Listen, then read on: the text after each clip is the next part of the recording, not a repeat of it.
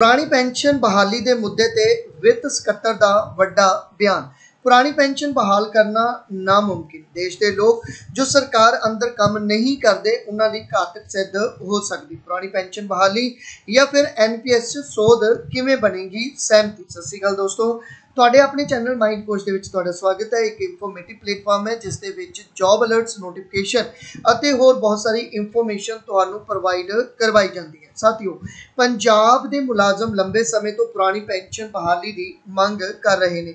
ਪੰਜਾਬ 'ਚ ਮੁਲਾਜ਼ਮ ਜਥੇਬੰਦੀਆਂ ਨੇ ਸਮੇਂ-ਸਮੇਂ ਤੇ ਧਰਨੇ ਪ੍ਰਦਰਸ਼ਨ ਕਾਲੀਆਂ ਝੰਡੀਆਂ ਨਾਲ ਆਪਣਾ ਰੋਸ ਵੀ ਪ੍ਰਗਟ ਕੀਤਾ ਅਤੇ ਸਰਕਾਰ ਨੂੰ ਆਪਣਾ ਸਹਿਯੋਗ ਨਾ ਦੇ ਕੇ ਵੀ ਆਪਣੀ ਮੌਜੂਦਗੀ ਸਾਬਤ ਕੀਤੀ। ਪਰ ਇਸ ਦੇ ਸਭ, ਇਸ ਸਭ ਦੇ ਬਾਵਜੂਦ ਵੀ ਮੁਲਾਜ਼ਮਾਂ ਨੂੰ ਕਈ ਵਾਰ ਐਸੇ ਬਿਆਨਾਂ ਦਾ ਸਾਹਮਣਾ ਕਰਨਾ ਪੈਂਦਾ ਹੈ ਜਿੱਥੇ ਉਹ ਨਾ ਉਮੀਦ ਹੋਣ ਲਈ ਮਜਬੂਰ ਹੋ ਜਾਂਦੇ ਨੇ। ਐਸਾ ਹੀ ਇੱਕ ਬਿਆਨ ਵਿੱਤ ਸਕੱਤਰ ਟੀਬੀ ਸਵਾਮੀਨਾਥਨ, ਜੋ ਕਿ ਭਾਰਤ ਦੇ ਵਿੱਤ ਸਕੱਤਰ ਵੀ ਨੇ ਅਤੇ 6 ਅਪ੍ਰੈਲ 2023 ਨੂੰ ਜੋ ਪੁਰਾਣੀ ਪੈਨਸ਼ਨ ਬਹਾਲੀ ਦੀ ਕਮੇਟੀ ਬਣਾਈ ਗਈ ਸੀ ਤੇ ਹੈੱਡ ਵੀ ਨੇ।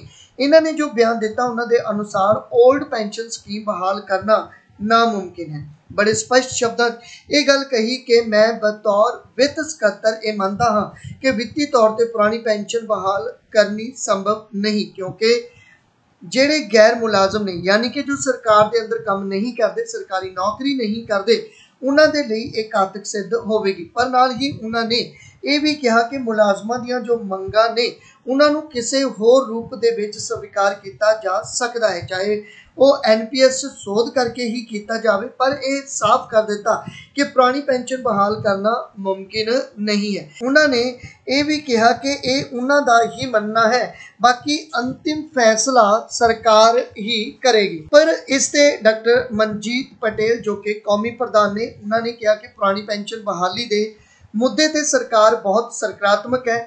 ਇਹ ਸਾਫ਼ ਕੀਤਾ ਗਿਆ ਹੈ ਕਿ ਸਰਕਾਰ ਐਨਪੀਐਸ ਨੂੰ ਖਤਮ ਕਰਕੇ ਪੁਰਾਣੀ ਪੈਨਸ਼ਨ ਬਹਾਲ ਨਹੀਂ ਕਰੇਗੀ। ਉਹਨਾਂ ਨੇ ਕਿਹਾ ਕਿ ਕਰਮਚਾਰੀਆਂ ਨੂੰ ਓਪੀਐਸ ਤੇ ਬੈਨੀਫਿਟ ਚਾਹੀਦੇ ਨੇ। ਚਾਹੇ ਉਹ ਓਪੀਐਸ ਬਹਾਲ ਕਰਕੇ ਮਿਲਣ ਜਾਂ ਫਿਰ ਐਨਪੀਐਸ 'ਚ ਸੋਧ ਕਰਕੇ ਮਿਲਣ। ਉਹਨਾਂ ਨੇ ਕਿਹਾ ਕਿ ਇਸ ਗੱਲ ਤੇ ਸਹਿਮਤੀ ਬੰਦੀ ਨਜ਼ਰ ਵੀ ਆ ਰਹੀ ਹੈ। ਤਾਂ ਸਰਕਾਰ ਇਸ ਤੇ ਬਹੁਤ ਪੋਜ਼ਿਟਿਵ ਹੈ। ਤਾਂ ਹੁਣ ਇਹ ਵੇਖਣਾ ਹੋਵੇਗਾ ਕਿ ਸਰਕਾਰ ਐਨਪੀਐਸ 'ਚ ਕਿਸ ਤਰ੍ਹਾਂ ਸੋਧ ਕਰਦੀ ਹੈ ਅਤੇ ਰਾਜ ਸਰਕਾਰਾਂ ਇਸ ਨੂੰ ਕਿਸ ਤਰ੍ਹਾਂ ਆਪਣੇ ਰਾਜਾਂ 'ਚ ਲਾਗੂ ਕਰਦੀਆਂ। ਤਾਂ ਅੱਜ ਦੀ ਵੀਡੀਓ ਦੇ ਵਿੱਚ ਇੰਨਾ ਹੀ। ਵੀਡੀਓ 'ਚ ਬਣੇ ਰਹਿਣ ਦੀ ਤੁਹਾਡਾ ਬਹੁਤ ਬਹੁਤ ਧੰਨਵਾਦ। ਚੈਨਲ ਤੇ ਨਵੇਂ ਹੋ ਤਾਂ ਚੈਨਲ ਨੂੰ ਸਬਸਕ੍ਰਾਈਬ ਕਰ ਲਓ ਬੈਲ ਆਈਕਨ ਨੂੰ ਪ੍ਰੈਸ ਕਰ ਲਓ ਤਾਂ ਜੋ ਆਉਣ ਵਾਲੀਆਂ ਵੀਡੀਓਜ਼ ਦੀ ਨੋਟੀਫਿਕੇਸ਼ਨ ਤੁਹਾਨੂੰ ਸਮੇਂ ਸਿਰ ਮਿਲ ਸਕੇ। ਤਾਂ ਥੈਂਕ ਯੂ